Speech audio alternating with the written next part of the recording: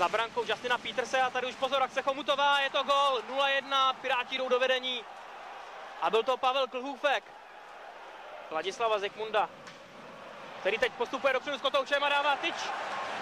Odehrá před napadajícím Růžičkou, ale výborný forechecking Pavla Klhůvka. Jeho střela, je to 0-2. Výborná akce Pavla Klhůvka, jeho druhý gol v dnešním utkání a Piráti odskakují do... Rozmýšlí to s pukem, nakonec hledal mezi kruhy Pavla Klhůvka, je to 3-0. Tak dámy a pánové, nepamatuju.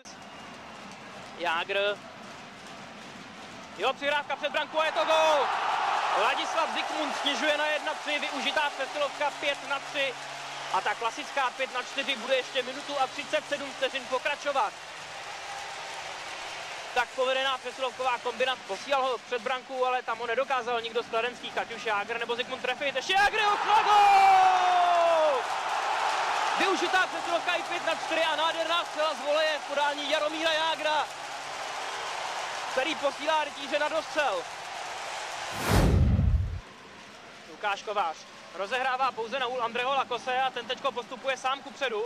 Andrej Lakos backendem a je to gol! Vynikající práce Andreho Lakose. Pochybné rozehrávce našel jednoho ze svých spoluhráčů. Já tuším, že to byl Tomáš Kaut a ano, je to tak. Výborná práce Andreho Lakose.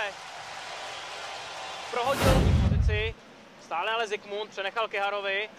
Teď za něj zaskočí vzadu Kehar ve výborné útočné pozici. Martin Kehar dává gol!